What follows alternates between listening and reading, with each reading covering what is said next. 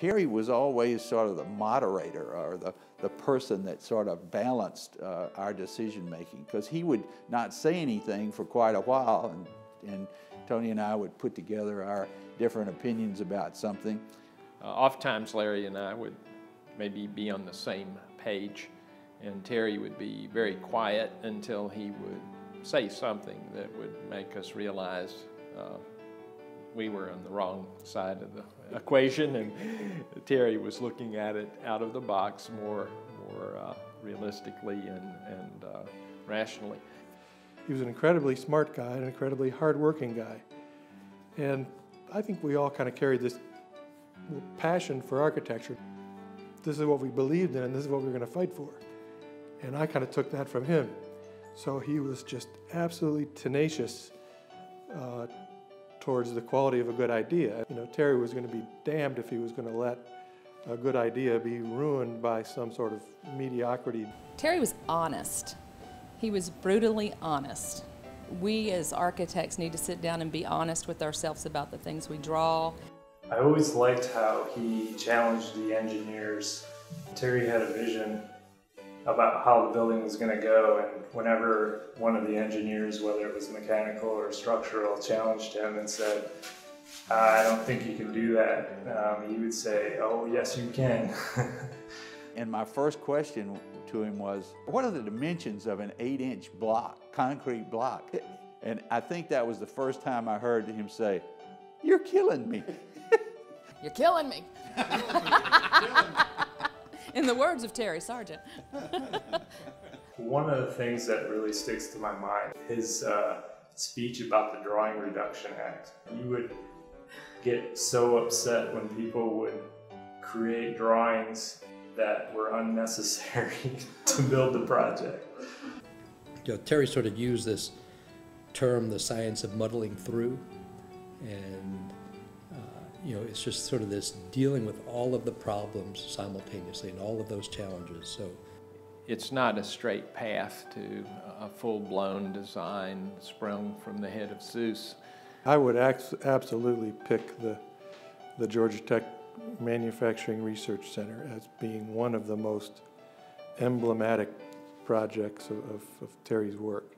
It was a pretty iconic building in a number of ways. And that building bowed to the past, certainly was of the present, and, and spoke to the, to the future. So there's a, frankly, a timelessness to that and, and so many of his projects. The work was not stylistic. It was responsive to its time, place, and context, and the materials that were available. You know, the Delta Airlines in Salt Lake City, perfect example. Trinity School, another great example. Georgia Tech, you know, the palette of materials was brick, you know, and glass. What I learned through ISR was listen to everyone equally. No matter if you're the president of the university or just a staff member of the school, if you had an opinion, he wanted to listen to it. He was very patient. He would sit and he would listen. I'm sure there were many days that he would go home and scratch his head, but he was patient enough to let me explore solutions and I think that that was a big part of how I learned. For me, Terry was always about clarity. There was always an idea that started at the beginning of the project and ran all the way through, and there was a, um, a real emphasis on integrity of materials and integrity on how the building actually functioned. I actually came to this firm because of the design work Terry did. I mean, it was something that, you know, was really a, a major emphasis for me It was to work for a firm that was, design was a major part of it. I got a chance to visit his second house uh, under construction. He was giving me a tour and you could see where the kitchen space was going to be. Um, he had actually uh, left a big hole in what seemed to be the area of the living room uh, and it was just dirt.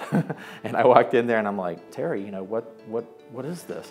And he goes, Joe, that's where the tree goes. The very first project I worked on was the Zoo Art. A really uh, fun project for a, a brand new architect that was Terry's concept was for this kind of coiled coiled snake, and and part of that also was because um, at the time um, the program inside the building was there was a chance it might be reptiles in the building mm-hmm. um, or, or other animals, and so so Terry was very interested in symbology. As we as we modeled it, Terry would always um, basically come in with his roll of of yellow trash. He would um, sit down and explain everything to me, and then he'd go away. And then he'd come back and check every hour or two and see how far along I was. And then he would say, "All right, meet me after dinner." Um, so at at 7 p.m., I would be back at the at the computer, and he'd come in and he'd sit with me till midnight. And then, you know, we'd go away, and then I'd come in the next morning, and he'd have a whole new round of trash paper with a whole bunch more stuff. So he'd been working, you know, even after we all left. I saw the Zoo Arc project and thought, mm-hmm. wow, that's that's what I want to do. Who did that? And then you know came to find out it was Lord Aeck Sargent and, and Terry. So that was actually instrumental in what sort of brought me to the to the firm in the first place. The first real project that I had the opportunity to work with Terry on was the Twin Creeks Science and Education Building, project for the National Park Service in Smoky Mountain National Park. I mean, he created what was a really spectacular mountain cabin like 20,000 square foot teaching and research building. So he was able to sort of take what they wanted, even though it seemed crazy, and, and turn it into a really unique design. On the Georgia Public Health Lab, uh, one of the key ideas was to translate this sort of open framework for testing into really a daylight filled lab that uh, made a great place for the workers involved. So after we created this sort of long linear plan that has all of those things that Terry is interested in, the repetition of the module, the ability to change over time, he created this idea of this clerestory that opened up the western facade. It also gave the workers uh, great views out to the west. And by creating internal clerestory windows, we were able to get light almost 60 or 70 feet into the building. When we designed the, the new office space, um, it was actually uh, kind of a crazy experience. Um, and I like to think that even though Terry had, had actually no hand in the design of the new office space, it's very much built upon the design ideas that Terry put forth. We felt it was important that the, that the new generation take the design forward.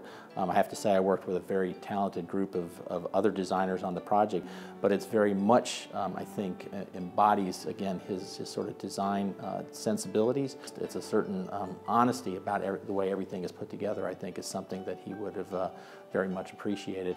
And I think that's really sort of the elegant pragmatist in Terry coming through in the design of our new office space.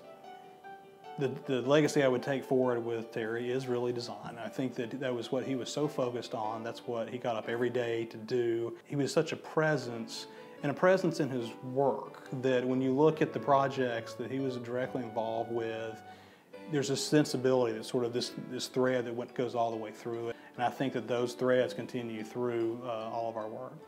Uh, so those are the, uh, the sort of chief legacies of one, solve the client's functional problem. Let's figure out how we meet the budgetary requirements by creating sort of a, a unified repetitive plan. But then finally, where do we find the delight in the architecture, the beauty by finding some poetic element, uh, some element that we can make more beautiful than the client ever imagined. And uh, at the end of the day, people are going to remember and love those buildings. Is not to take it too seriously and to just enjoy the day to day process that he loved. That's what it is. One of the things he always realized is the building was not for him. It was for the people he was designing it for at the end of the day. And so he wanted it to function and he wanted it to last and be a legacy to um, the institutions that we design things for. And I think that if we could keep that on the forefront, um, I think, you know, the future is bright. I think Terry has laid down the, the gauntlet as a design challenge that we're here as architectural designers. Um, we're not showboat designers, we're, we are pragmatic, um, but we find the elegance in the program, in the site, uh, in the aspirations of the project, and, and our charge is really to sort of put that together in an amazing, elegant way. As part of our merger due diligence, we did the psychological one about the Myers-Briggs uh, tests and how could I work best with Larry and with Terry. And I remember the, uh, the psychologist was counseling me about Terry, and he said, uh, oh, this is going to be a great guy to work with. Um, you know, he, will be very uh, collegial and collaborative and all uh, to a point. And uh, if you push him past that point, he'll kill you. of course, he never killed me. And, uh, so I must never have pushed him uh, that far, although I'm sure at times I may have gotten close. But uh, he was a, a pleasure and a delight and uh, a prince of a guy. And as I, uh, as I said at his uh, memorial gathering at the, the beer hall in uh, office in, in uh, Ann Arbor, um, he really was an authentic original.